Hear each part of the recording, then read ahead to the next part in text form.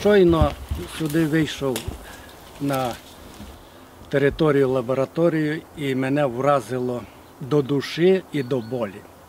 Я побачив зрізану серебристу ялинку. Ця ялинка була заказана якимось нашим крутим, недалеко, де напевне тут недалеко живе, дітям, які за великі, може, для тих дітей гроші вони їм купили. Ну невже оцьому батькові, матері буде насолода на новорічні свята, різдвяні свята, радуватися тим, що 35-річну ялинку дерево зрізали. Адже ми знаємо, що кожне дерево, кожна рослина, вона має своє жива істота, вона реагує на все. І треба всі, щоб знали, що в районі, що тут недалеко, заказані ці ялинки були.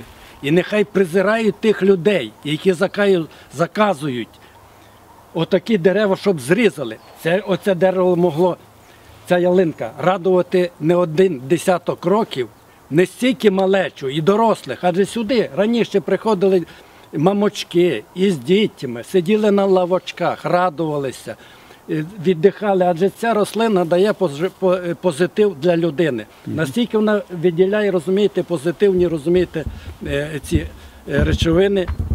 Ну, на превеликий жаль, я думаю, що це треба осудити громадянам, покласти це в інтернет, опитати людей, чи вони підтримують отаку, такий вандалізм. Це моє запитання.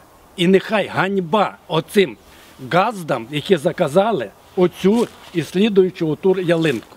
Оцей мій виступ є запитом до правоохоронних органів знайти винуватців у цьому вандалізму. І по-друге, подивитися, що робиться тут взагалі. Скільки дітей безпрозорників приходять, щоб, щоб не було, якщо там е, когось обвалить. Там тут недалекий може, можливий такий випадок, а це так видно, що тут вже все підобрали е, цей Стропили вже. стропили, Да. е, Балки. цеглу, все. Тут велике перекриття, тут можливо велика трагедія. І тоді хто буде винуватий? Будете шукати. Зараз треба припинити цей вандалізм. Все, як видно, розбили, розрушили, вигнали. Все змішали, як кажуть, із землею, не рахуючи, що саме перспективний в цьому світі біологічний метод захисту рослин, закопали.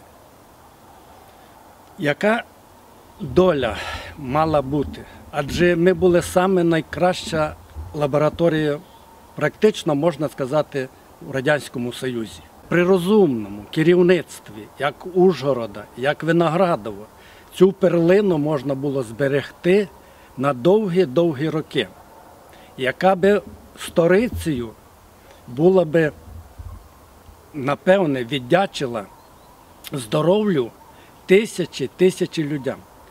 Адже, адже цим же препаратами можна, можна було і зараз це вирощувати екологічно чисту продукцію.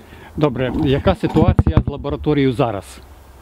Ми всі знаємо, що зараз після п'яти років е, судових перепітій Верховний суд України відмінив рішення районної ради про те, щоб вона була у перейшла в комунальну власність. Зараз практично вона відійшла у власність обласного управління сільського господарства. Ну там та ж сама ситуація. Зараз чиновники не турбуються про, розумієте, про е, власність, державну власність. Видно лише тільки своїми інтересами.